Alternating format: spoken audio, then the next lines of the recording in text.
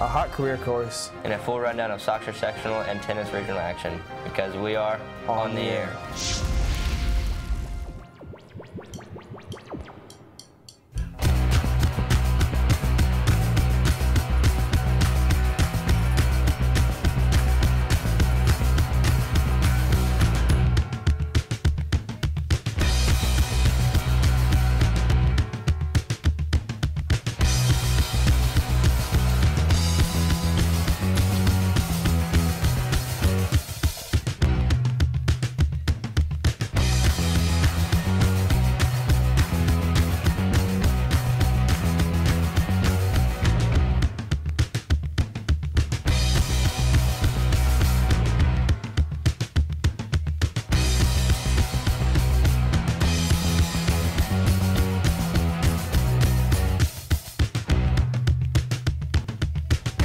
I'm Nate Parker. And I'm Parker Smith. For only a few years now, RHS has offered one of the hottest new career classes around. The fire rescue teacher tells us how you can be part of the fire rescue team. Um, our fire rescue class um, is uh, a class that our adult firefighters and professional firefighters take. It's the same same class, the same coursework. Uh, we do the same things. Um, we're out um, climbing ladders, um, in smoke conditions, doing search and rescue, and eventually, towards the end of the class, they'll get a chance to participate in some live fire activities. Uh, so basically, we're going to certify them uh, the same as uh, any state uh, certifications for volunteer or uh, paid departments are. Uh, they'll have the same certifications in fire and hazardous materials that those firefighters do have. Remember, if you want more information on how you can sign up for fire and rescue, you can talk to your counselor. Now let's take a look at some RHS announcements, including important information for early college students. That's right, and that's where we start today with job shadowing and college visits information for early college students.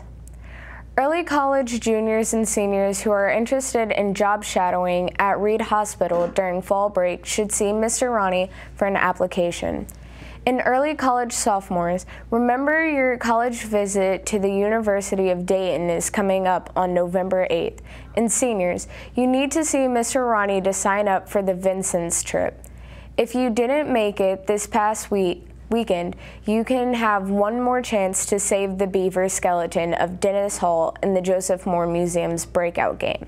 It will run again this Saturday. You can go by yourself and get placed in a group or take a group of eight. You have 60 minutes to crack codes, find clues, solve puzzles, and save the world's most complete giant beaver skeleton before it becomes toast.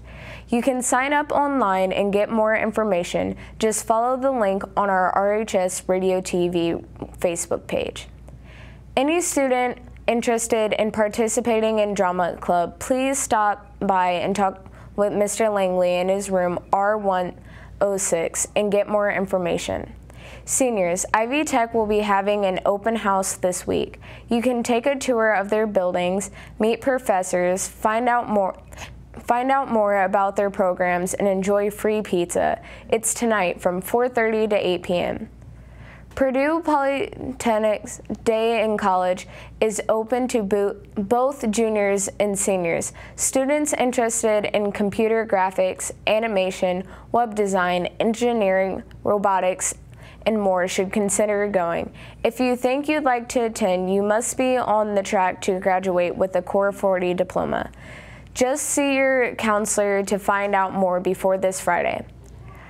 Primex Plastics, who is having an open house for anyone who might be interested, you can tour their faculties.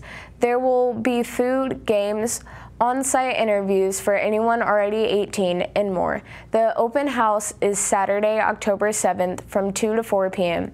at their plant on North F Street. So if you'd like to get ahead, start on a good job after graduation, stop by the Primex open house. And our final announcement today, the first meeting of the Creative Writing Club is today in Miss Winters' room, L109. If you have questions, see Miss Winters or Miss Fulvey. That's your announcements. I'm Lee Syke. I'm Joey Coble. Soccer sectionals, tennis regionals, and a big game for RHS volleyball. Let's get all the results in the Red Devil Sports Report. It was a rough couple nights for RHS soccer, and boys tennis goes for another championship, but we start with a rowdy, hard fought volleyball wins last night. RHS volleyball took on crosstown rival Seton last night, and RHS brought the bleacher creatures to get things fired up. The Red Devils pulled out the win in four sets. Next up for volleyball is the NCC tournament this weekend. RHS girls soccer was also in action last night, but ran into a tough Mount Vernon team and fell to the Marauders in the first round of the sectional. RHS fin- finishes their se- season 10-7 and 1. And unfortunately for the boys, their season ended as well on Monday as they fell to Shelbyville in the close match. They closed their season with a 6 7 and 4 record. Tennis faced Newcastle last night in the first round of the regional and moved on to a spot in the regional final tonight with a 4 and 1 win. RHS will play Batesville for the championship starting at 4:30 p.m. tonight on the Terran courts. A win means a return trip to semi-state in Center Grove this Saturday. And that's your sports, and I'm your girl, Play Day. That's our show. And as we leave you, here's a look at some more fire and rescue training. Have a great day.